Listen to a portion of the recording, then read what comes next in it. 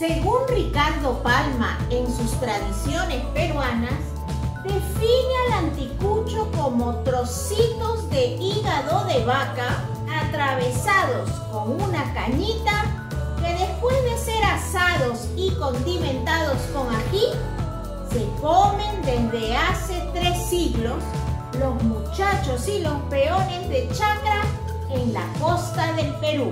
Y es que el anticucho y el choncholí es importado y lo trajeron los esclavos del África. Increíblemente, Lima sin anticuchos no es Lima. ¿Y qué son? Son unas brochetas de corazón de vaca deliciosa.